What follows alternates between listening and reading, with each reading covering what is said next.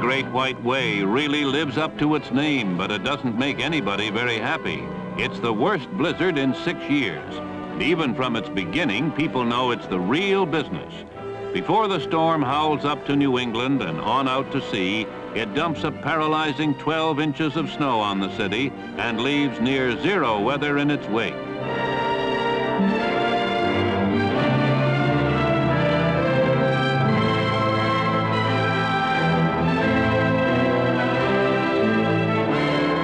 What little traffic there is gets nowhere.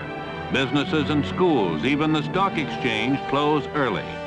Throughout the day, the mayor is on the air imploring people to stay home. For most people, it didn't take much imploring. They couldn't get out anyway.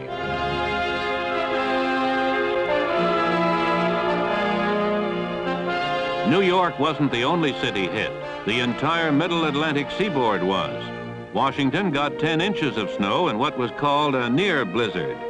The distinction between a blizzard and a near blizzard or big snowstorm depends not so much upon the amount of snow that falls as upon the force of the winds and how cold it gets. Park benches optimistically painted in expectation of the cherry blossom season seem forlorn.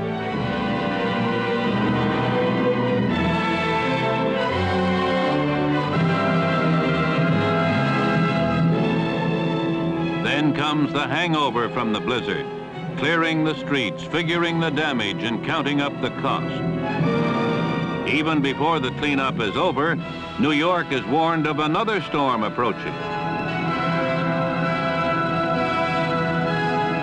After 24 hours of frozen inaction, the airports reopen and life begins to return to normal.